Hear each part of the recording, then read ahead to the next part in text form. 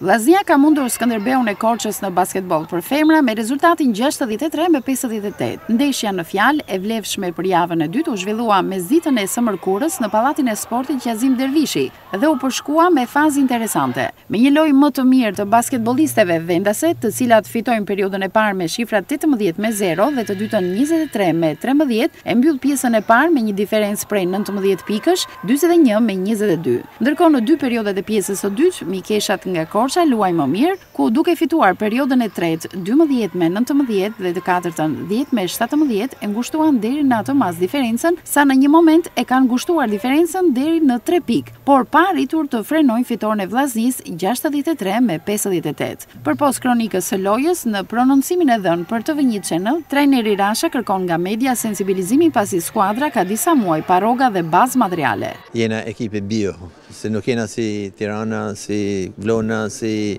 Durrësi, të cilët huazojnë lojtarë nga vendet përreth. Megjithatë, domethënë, E ky është basketbolli, na buzëqeshi ne fitorja, e respektojmë shumë ekipin e Korçës. Ju gazetarë duhet me ditë që ekipi i vajzave të basketbollit dhe shumë ekipe sportive në qytetin tonë, sidomos e joni ka katër muaj pa trajtime ushqimore, pa topa, pa veshmathje, trajnerët nuk janë nuk janë pagu tash shtatë muaj dhe duhet me e ba një fije sensibel këtë punë në mënyrë të tillë që t'i vejmë gishtin kokës dhe të krijojmë mundësi që sportistat na vijnë me optimizëm dhe me qejf e me qejf në stërvitje.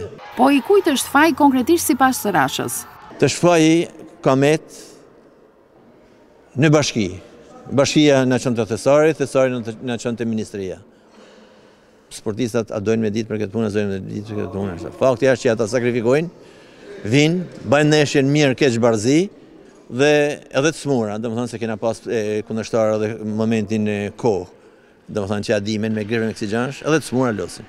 Alarmi i përcjellë nga trajneri Rasha pritet të shkojë aty ku duhet në mënyrë që strukturat përkatëse të qeverisjes vendore të marrin masat e duhura për ndryshimin e situatës.